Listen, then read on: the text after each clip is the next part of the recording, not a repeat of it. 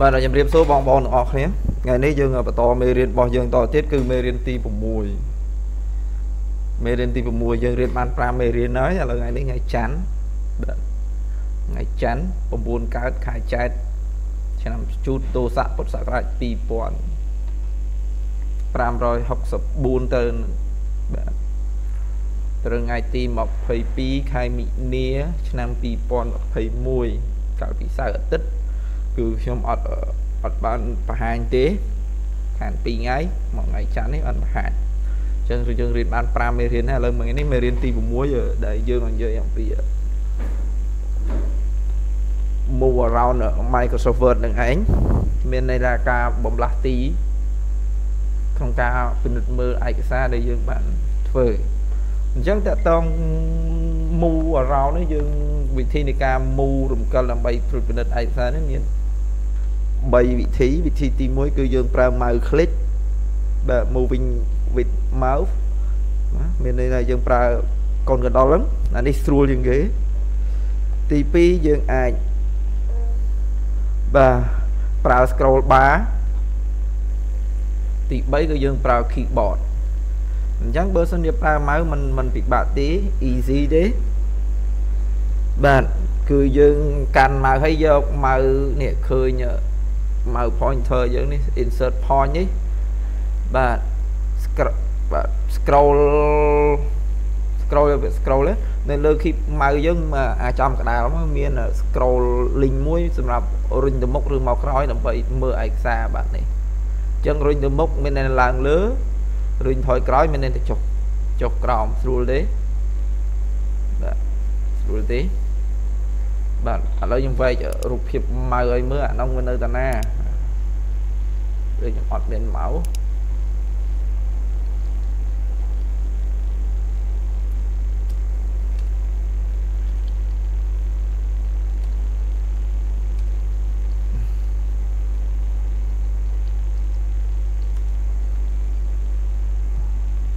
បាទនេះរូបភាពម៉ៅយើងបាទ ជាធម្មតាម៉ៅយើងមានអានេះមួយ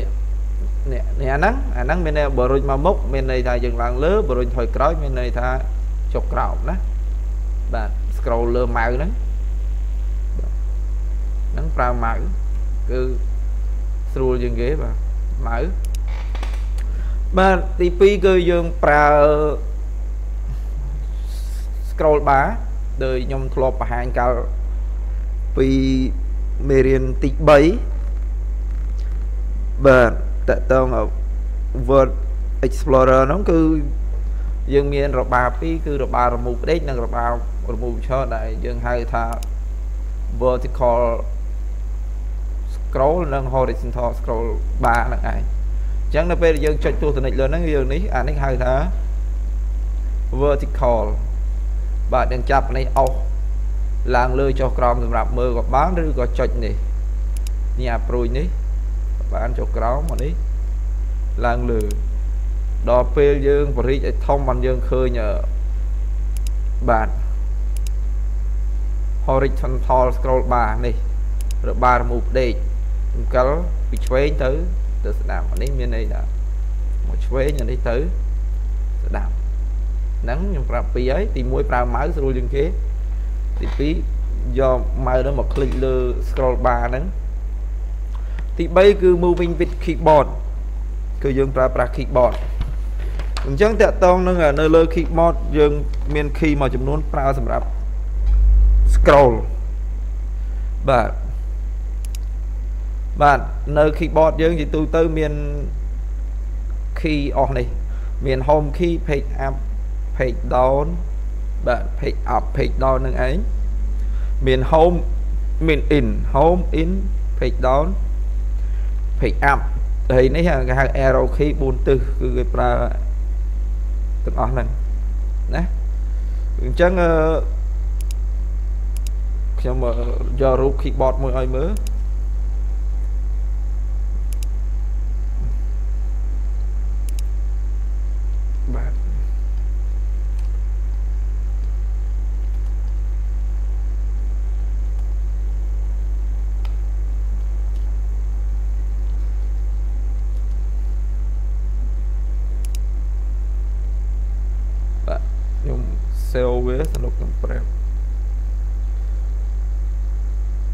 ទួយទៀតមើលណាច្បាស់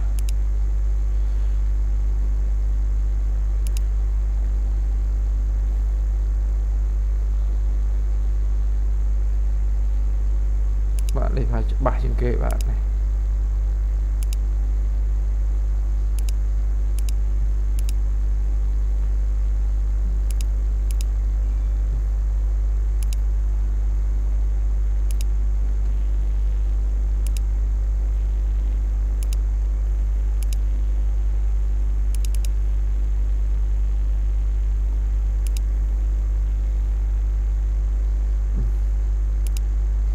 បាស់ជាងគេបាទនេះបាទគឺនេះមានអានេះ arrow key page down page up បាទនេះ home នេះ in គឺប្រើ key ទាំងអស់ហ្នឹងអញ្ចឹងឥឡូវអា key មួយដែលមានសញ្ញាព្រួយដែលមានក្បាលព្រួយទៅស្ដាំបាទ key នេះបាទនេះបាទនេះបាទនេះ key មួយនេះ បាទសញ្ញាព្រួយតែស្ដាំមានន័យថាវាមកអញ្ចឹងហើយបាទអញ្ចឹងខីមួយហ្នឹងប្រើសម្រាប់រំកិលបាទរំកិលទស្សនិកហៅ cursor ហ្នឹងទៅមុខមានតែទៅស្ដាំចំនួន1តួអក្សរបាទអានេះមានន័យថារំកិលមកឆ្វេង back one character ហ្នឹងមានន័យរំកិលមកឆ្វេងមួយតួអក្សរ ដល់ពេលអានេះមានន័យថារំកិលឡើងទៅលើមួយបន្ទាត់មួយបន្ទាត់ណាអានេះរំកិលចុះក្រោមមួយបន្ទាត់មួយបន្ទាត់ឥឡូវខ្ញុំសាកឲ្យមើលឥឡូវឧទាហរណ៍ទូទៅនេះទូទៅនិចនៅខាងមុខអឺនៅចំកណ្ដាលនេះចុះនៅចំកណ្ដាលនៅកន្លែងហេបនេះនៅមុខហេបអញ្ចឹងបើខ្ញុំកិលមក ស្ដាំមានន័យថាវារំកិលមួយតួអក្សរប៉ុន្តែបើរំកិលទៅឆ្វេងមួយតួអក្សរបាទបើចុះក្រោមមានតែចុះក្រោមមួយបន្ទាត់ឡើងលើឡើងលើមួយមួយបន្ទាត់ចំណែកពាក្យបាទពាក្យមួយទៀតគឺពាក្យ page up ហើយនឹង page down page up មានន័យថារំកិលឡើងទៅលើនៃអេក្រង់កុំព្យូទ័រនេះមួយ បាទ page up page down home ហើយ in ឥឡូវមើលខ្ញុំដោះអស់ទៅទំព័រទី7អញ្ចឹងឥឡូវបាច់ពេលនេះយើងកំពុងហ្នឹងមកអេក្រង់កុំព្យូទ័រមើលឃើញប៉ុណ្ណឹងអញ្ចឹងកាលណាយើងចុច page up មានន័យថាវារំកិលឡើងទៅលើមកអេក្រង់នៃកុំព្យូទ័រហ្នឹងអេក្រង់វាបង្ហាញប៉ុណ្ណឹងបានបានបន្ទាត់1 2 3 4 5 6 7 8 9 10 11 12 13 14អញ្ចឹងកាលណាយើងរំកិលអស់ page up ឡើងទៅលើមានន័យថាវាបង្ហាញ14បន្ទាត់នៃខាងលើពាក្យ example ហ្នឹងអញ្ចឹងបន្ទាត់ចុងក្រោយ example ហ្នឹងអញ្ចឹងឥឡូវខ្ញុំរំកិលឲ្យមើលបាទចុច page up មកឡើងទៅលើហើយក៏បាទនេះ example បន្ទាត់ចុងក្រោយគេរបស់យើងមិញអញ្ចឹងវាឡើងលើមកអេក្រង់បើ page down មានន័យថាមើលចុះក្រោម មកអេក្រង់នៃ screen monitor យើងបើយើងប្រូមួយទូចឃើញច្រើនបន្ទាត់យើងចុចចុះក្រោមមកយើងឃើញច្រើនបន្ទាត់ដែរមានន័យថា page up រំកិលឡើងទៅលើនឹងមួយអេក្រង់ page down ចុះក្រោមមួយអេក្រង់ចំណែកក្របចុច home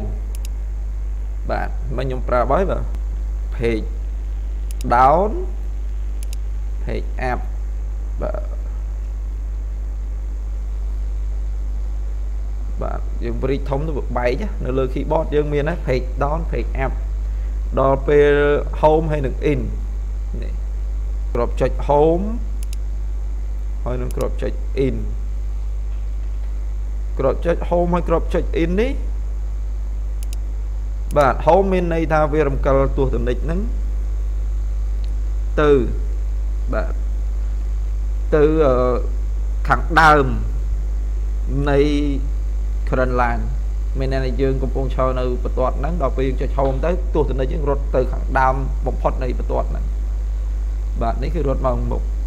ដល់ពេលគ្របចុច in មានន័យថាវារត់ទៅចុងបំផុតនៃបន្ទាត់ហ្នឹងនៃពាក្យមកបន្ទាត់ហ្នឹងចុចមកនេះនៅក្រោយ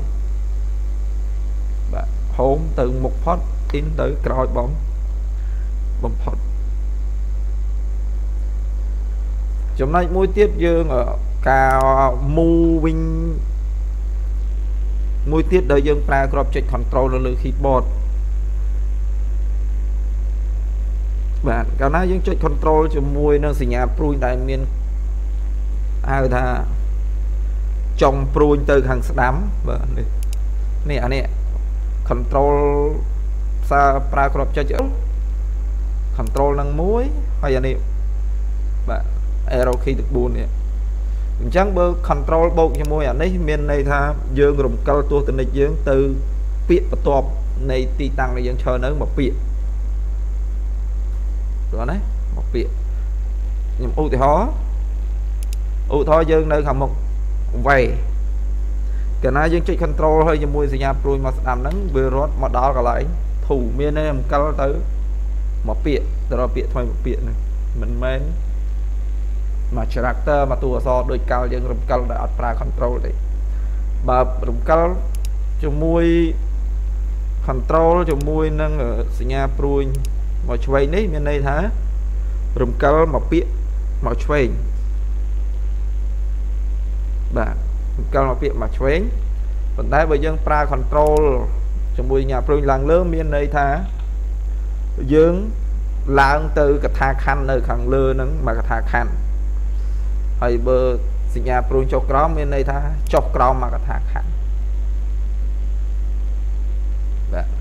ឡើងលើមកកថាខណ្ឌចុះក្រោមមកកថាខណ្ឌ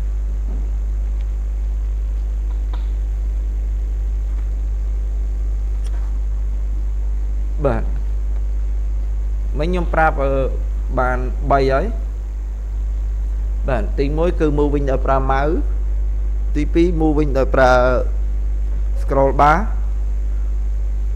ហើយមិញហ្នឹង moving ដោយប្រើបាទ keyboard នៅក្នុងនោះដែរយើងមាន move មួយទៀត moving ដោយប្រើ command ពាក្យបញ្ជាអញ្ចឹង moving ដែលប្រើ command ហ្នឹងគឺយើងបាទ